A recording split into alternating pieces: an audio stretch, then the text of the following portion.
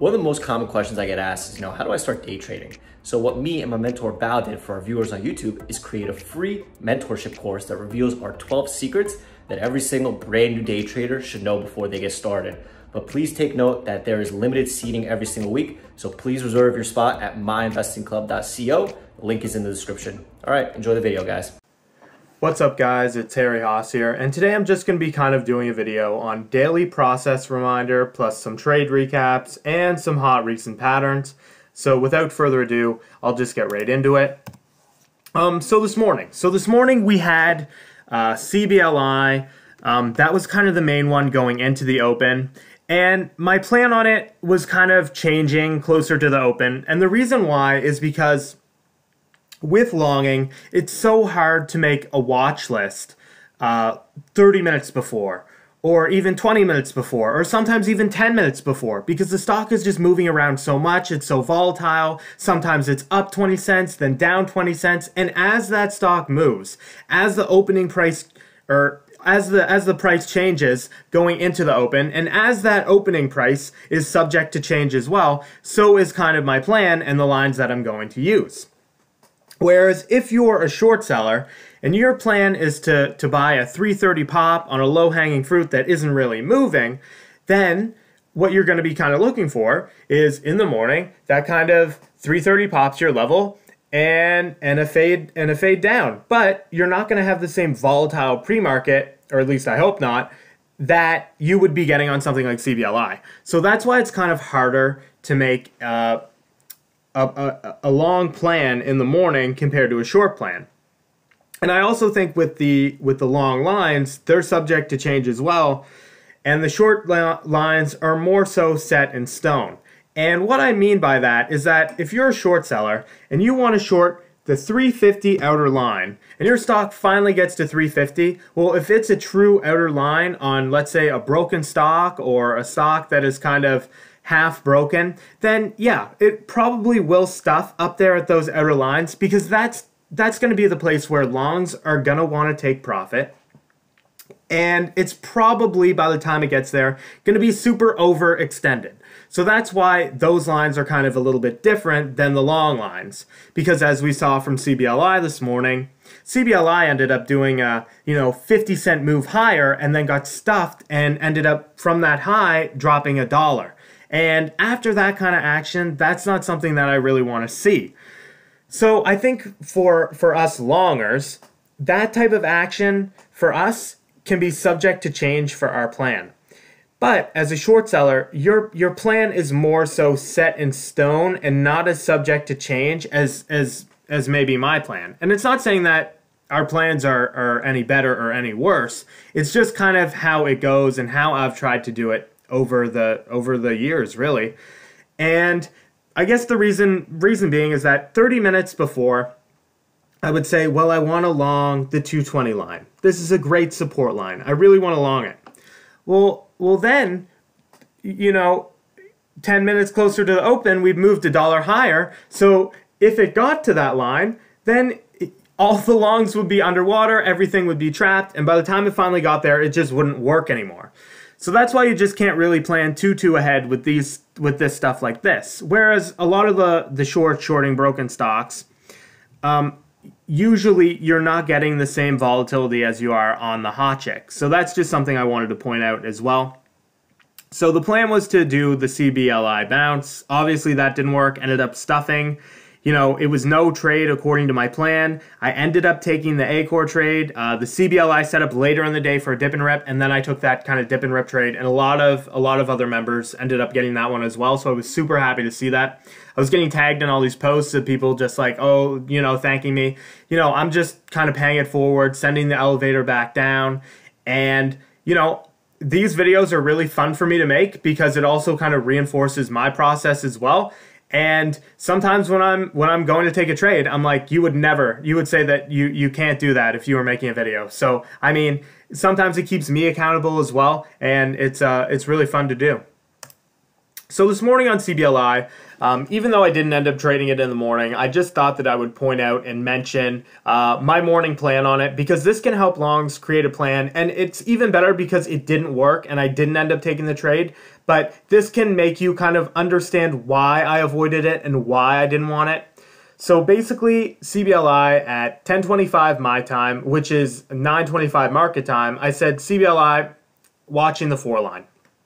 So we're in around here. I'm like, yeah, you know, four bucks. This, this, this area, this area, kind of looking at it. Then we move a little bit higher.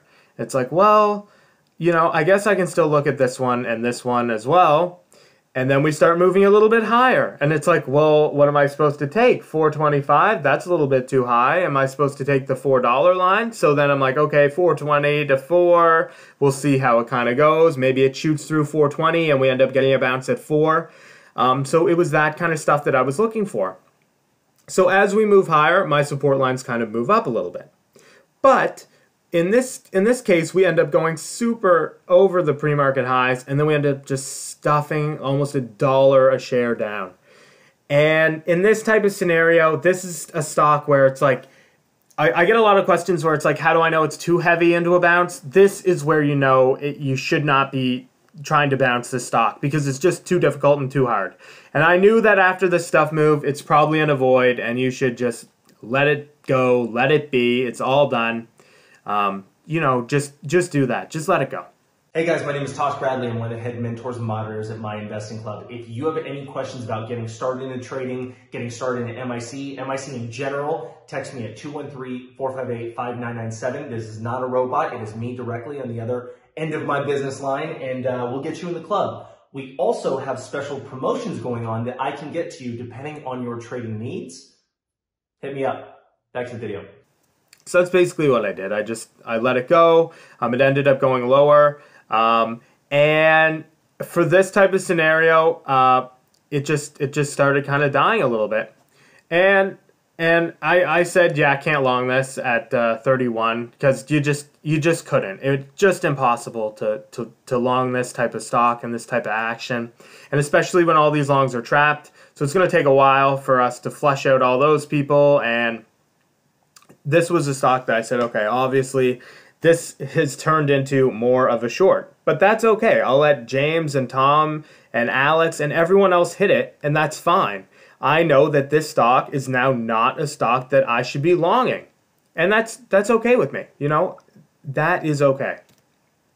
So I think this is a scenario where I do get a lot of questions of people asking me, "Hey, like how do how do I know?" And "Hey, like how do I know when is a good time to take a line, a line like how how red should the candle be this is a, a, scenario when you probably should not be taking a long trade into a big big stuff move like this because it just the odds of this bouncing over highs again are like pretty much zero. So you just don't want to take that and just move on and say, okay, well, that plan didn't work. Or if you did take the long at four, either stop out or just sell quickly into this bounce and just make sure you're out of it because um, when you get a giant dramatic stuff move like that, which I'm going to kind of talk about different kinds of stuff moves today as well, because that's a topic that has been coming up a lot where a lot of people have been saying, well, I avoided it because it's stuffed, but then it ended up squeezing higher. So I just want to kind of talk about that as well today. But this is obviously a very bearish stuff move.